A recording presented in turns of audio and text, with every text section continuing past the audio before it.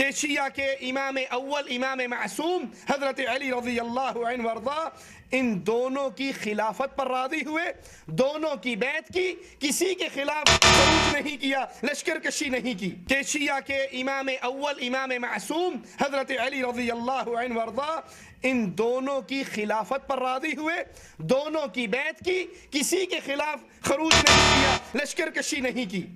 کتاب ہے المصنف لابن ابی شیبہ۔ فی الاحادیث والآثار.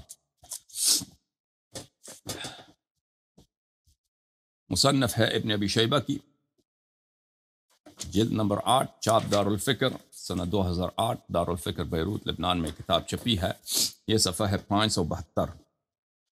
پانچ سو نمبر چار. حدثنا محمد بن بشر. رجال بخاری مسلم میں سے. خود خود یہ جو رجل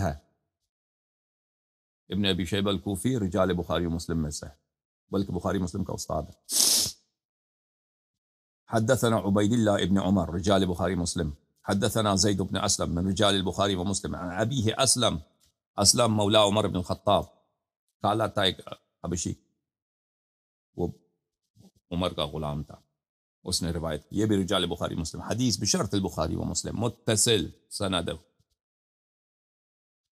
کوئی اس میں اشکال نہیں ہے۔ اگر کوئی کہتا ہے کہ اس میں کوئی انقطاع ہے تو انقطاع دکھائے۔ کوئی کہتا ہے مرسل ہے ارسال دکھائے۔ حدیث متصل ہے۔ اور اسلم جو ہے، ابو بکر سے اس نے روایت کی ہے۔ وہ ابو بکر کی خلافت میں تھا۔ اور انشاءاللہ تبارک و تعالی ہم دکھائیں گے کہ یہ اس کی حادیث ان لوگوں نے مرسلن رسول صلی اللہ علیہ وآلہ وسلم سے نقل کیا بخاری میں اور اس کی تصحیح کیا اور حدیث معنعن حجت ہوتا ہے۔ بے اجماع محدثین بے اجماع المحدثین اگر اس میں کوئی مدلس نہ ہو اور یہ مدلس نہیں ہے بالإجماع. اچھا انہو حین بوی علی ابی بکر جب أبو کی بیعت کی گئی بعد الرسول صلی اللہ علیہ وآلہ وسلم. رسول اللہ صلی اللہ علیہ وآلہ وسلم کے بعد کان علی و زبیر و زبیر یدخلان علی فاطمة بنت رسول اللہ صلی اللہ علیہ وآلہ وسلم. امیر المؤمنین علی علیہ السلام اور زبیر ابن عوام یہ ملاقات کرتے تھے حضرت صدیقی طاہرہ سلام اللہ علیہ کے ساتھ ان کے گھر پر۔ فیوشاورونہا اور یہ ان سے مشورہ لیتے تھے۔ وہ ارتجعون فی امرہم۔ اور اپنے کہ ہم نے کام کیا کرنا ہے کہ اب ابو بکر کے ساتھ خلافت بیعت کیا ہے لوگوں نے تو ہمارا کیا طریقہ کار ہونا چاہیے؟ فلما بلغ ذلك عمر بن الخطاب یہ خبر عمر کو پہنچا خبر عمر کو پہنچا خرج حتى دخل على فاطمة سلام اللہ علیہ عمر آ گیا خرجہ وہ خارج ہو گیا مسجد میں تھا کام جامع تھا وہاں سے خارج ہو گیا کہ یہ لوگ میٹنگ کرتے ہیں ٹھیک ہے نا اجماع ہے ابو بکر کی خلافت پہ اجماع ہے لعنت ہو ایسے اجماع پر جس میں جس کا جس کا سب سے بڑا مخالف امیر المؤمنین علیہ السلام ہے، صدیقی طاہرہ سلام اللہ علیہ وہ مشورے سے بنا ہے، مشورہ یہی ہے۔ مشورہ یہی ہے کہ یہ آپس میں مشورہ کر رہے ہیں کہ ہم اس کے خلاف کیسے بغاوت کریں۔ تو تبھی تو عمر آگ لے کے آتا ہے نا۔ نو بھائی، کہتا ہے ابو کی خلافت پہ اجماع اجماع یہی ہے۔ اجماع یہی ہے۔ کہ صدیقی طاہرہ سلام اللہ علیہ کو آ آ اور ان کے گھر کو آگ لگانے کی تم دمکی دیتے ہو؟ یہ کیا یہ کون سے اجماع ہے؟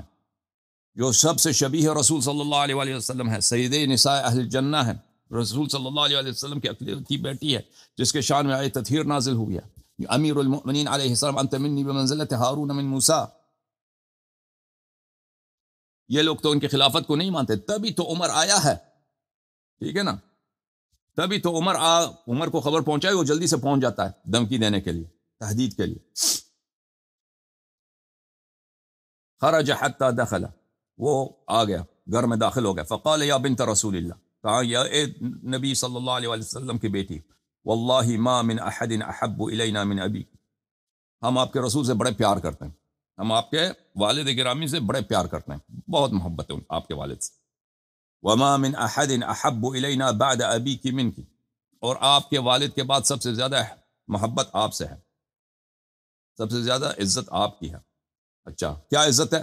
وَأَيْمُ اللَّهِ مَا ذَلِكَ بِمَانِي لیکن اللہ کی قسم، یہ محبت جو ہے، یہ محبت کو، یہ ہم کوئی پرواہ نہیں کریں گے۔ یہ محبت، اس محبت، یہ محبت ہمیں نہیں روکے گا۔ اس بات سے، ان اجتماع هؤلاء النفر عند کی کہ اگر یہ لوگ، یہ جماعت، یہ حدیث میں صرف تل زبیر اور سید المسلمین سلام اللہ علیہ کے اسامی مبارکہ کا ذکر ہے۔ ٹھیک ہے؟ حدیث میں صرف ان کا ذکر ہے، نام، ان تسمیہ پہ، ان پہ تصریح ہے، لیکن اور بھی لوگ تھے۔ ہا اولا نفر یہ لوگ، یہ جماعت، بہت سارے لوگ تھے۔ وہاں پہ آتے تھے، میٹنگ کرتے تھے۔ کیا جب وہ نے یہ کیا اس نے عمر نے یہ کیا ہے، انہوں نے بیعت کی ہے، فلانے نے بیعت کی، ہم کیا کریں؟ اگر یہ لوگ آپ کے پاس جمع ہو جائے ان امردہم ان یحرق علیہم البیت۔ اگر یہ آپ کے پاس جمع ہو جائے تو یہ میں میں کیا کروں گا؟ میں حکم دوں گا کہ لکڑ لے کے آئیں، آگ لے کے آئیں، اور آپ پر یہ گھر آپ کا پورا گرانا ہم جلا دیں گے۔ بیت رسول ہے تو ہمیں کوئی پرواہ نہیں، ہم جلا دیں گے اس کو۔ ہم اس کو آگ کے شعلے میں خاکستر بنا دیں گے۔ آپ ہیں، اس میں حسنین ہیں، تو کوئی بات نہیں۔ سلام اللہ۔ یحرق علیہم، ہم جلا دیں گے۔ اس گھر کو، اس اس بیت کو بیت والوں کے ساتھ جلا دیں گے۔ اچھا۔ اچھا۔ تو عزیزو، پہلی بات یہ ہے، مجھے بتاؤ، اگر کہ یہ ادعا کرتے ہیں کہ ابو بکر کے بیا خلافت پہ اجماع ہے۔ ابو بکر کی خلافت سب کی رضا سے بنی۔ ابو بکر کی خلافت مشورے سے بنی ہے۔ ٹھیک ہے نا؟ مشورے سے بنی ہے یا آگ کے زور سے بنی ہے؟ اگر اس میں اجماع ہے، یہ لوگ جو جمع ہوتے تھے نا وہاں پہ، ویسے چائے پینے کے لیے تو جمع نہیں ہوتے تھے۔ تبھی ابو بکر اور عمر ان کو احساس ہے کہ یہاں پہ ہمارے اپوزیشن کا سینٹر ہے۔ یہاں پہ جو بھی اپوزیشن ہوگا اسی گھر سے ہوگا۔ مخالفت کا پرچم مخالفت کا جنڈا یہیں اسی گھر سے نکلے گا۔ تبھی تو انہوں نے انہوں نے کیا کیا؟ اس گھر کو اپنی مخالفت کا گڑھ سمجھا، مرکز سمجھا۔ اسی لیے تو حدیث منیا ابی بکر میں، حدیث ابو بکر کی تمنا جو ہے۔ ٹھیک ہے نا؟ جس کی تصحیح کس نے کیا ضیاء مقدسی نے اپنی احادیث مختارہ میں کیا اور کئی لوگوں نے اس کتاب کو، حدیث کو بات سند صحیح نقل کیا۔ وہ یہی تو کہہ رہا تھا کہ اے کاش مرتے وقت اے کاش میری تمنا یہی ہے کہ میں فاطمہ سلام اللہ علیہ کے گھر پہ حملہ نہ کرتا۔ ان کے گھر پہ حملہ نہ کرتا۔